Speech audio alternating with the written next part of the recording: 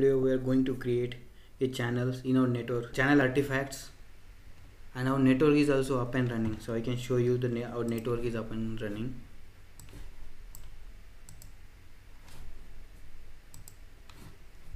Just let me open command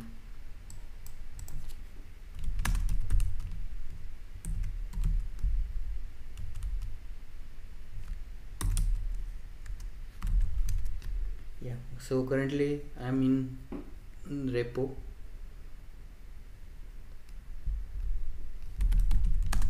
Docker ps so it will show the, all the processes. Yeah these are these services for our network. So all the services are up and running. Okay. So the next next part is creating the channel.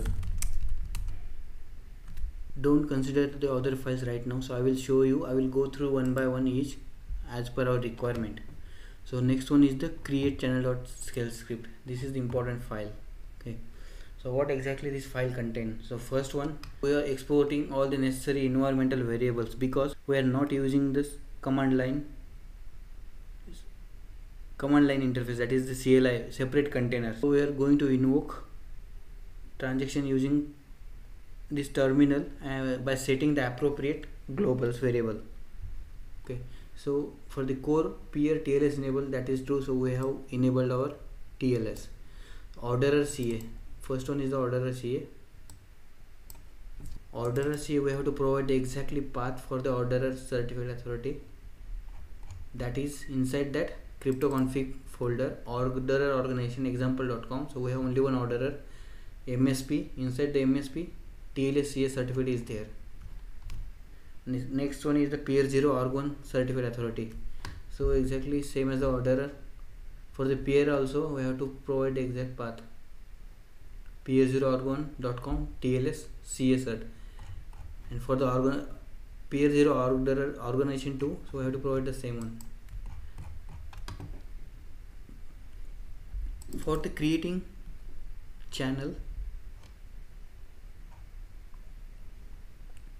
for creating the channel so I already told inside the channel folder we have a config folder we have a config folder where we have defined different services. This core.yaml file is required for creating the channel because we have to set the fabric config path to the core.yaml file so that the channel gets created. So make sure that you have provided exactly same path for the core.yaml file wherever it is just provide the correct path here. So so we are creating the channel as my channel. Set global for orderer set global for peer 0 org1 set global for peer 1 org1 set global for peer 0 org2 peer 1 org2 these are different environmental variables we have to provide here. So orderer core peer local msp id so it is compulsory to provide the local msp id next one is the core peer TLS root cert file. So make sure that you are providing the exactly correct path for the TLS for the TLS file. For the MSP config membership service provider configuration file.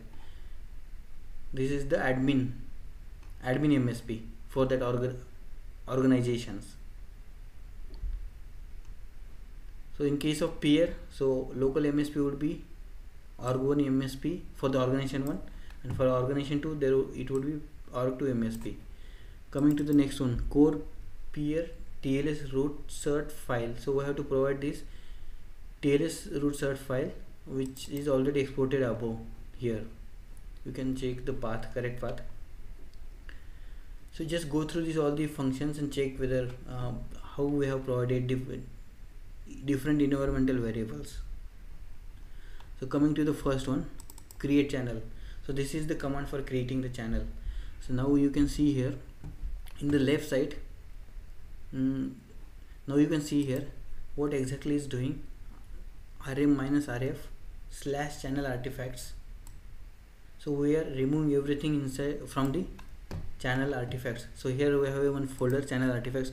We have nothing inside this folder right now so no need to run this command actually. But anyway if it is running uh, let it be. Uh, if we have uh, later on if we have that file then it would be easy to first remove that and later create that uh,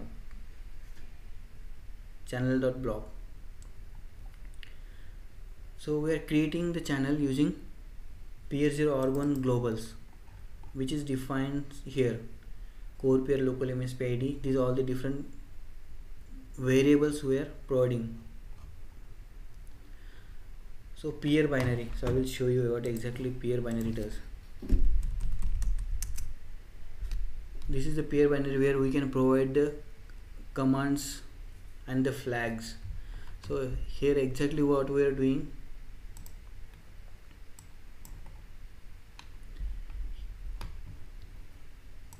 Here peer channel create orderer is localhost 7054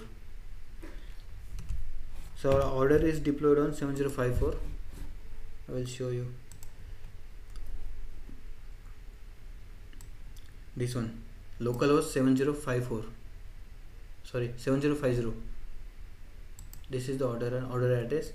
Channel name is the my channel. Order tls host override order.com and we have to provide the file of channel.transaction file which is created during the artifacts creation. It, so it would be available inside the channel. This is the file my channel.transaction file. So I have to provide the path to the exactly this file. So output block would be inside the channel artifacts.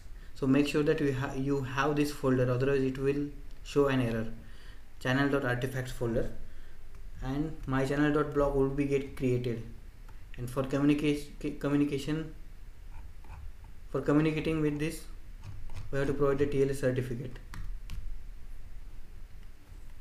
Okay so we'll run first this command create channel. These are the different functions so I'm not going to use this.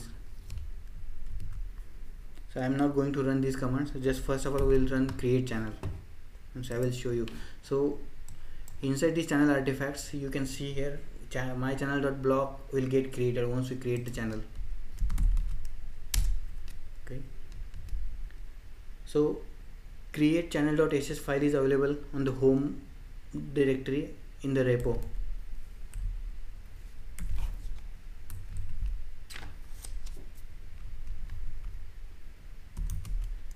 Create channel.sh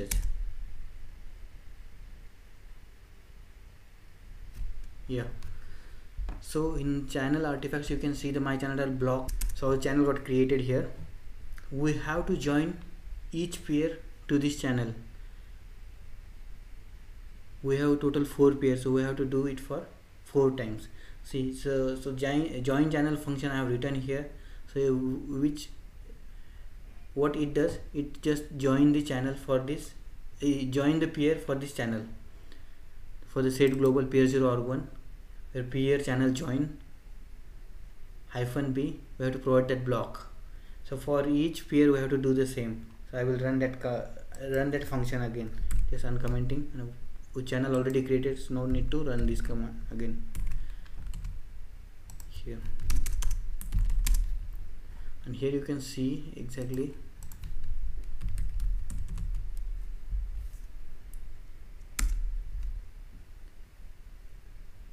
successfully submitted the proposal to join channel. Endorser and order connection initialized successfully submitted proposal to join channel. So all the peers have joined the channel. Four peers.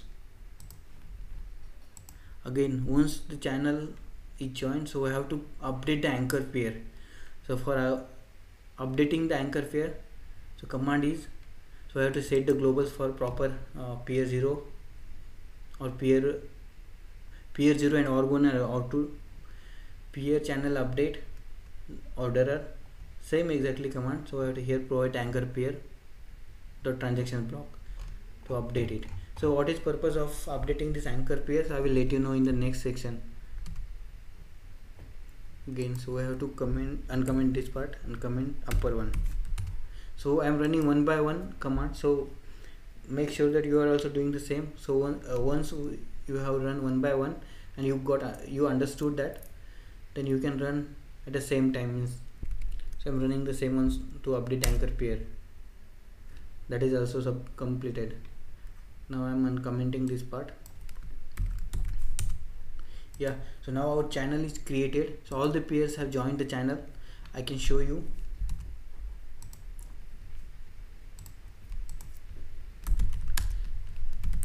Docker processes these are the different services so we'll go go to the peer container. Docker exec.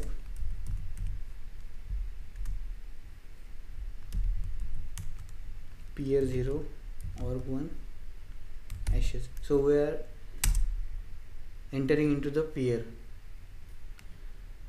In, so currently we are inside the container of peer 0 org 1 currently we are inside that working directory of slash opt slash go path slash src github.com hyperledger fabric peer that's why it's nothing is nothing inside this folder nothing is there. That's why it's showing. Cd and ls we can see here. Cd slash there would be a lot of folders uh, cd minus yeah.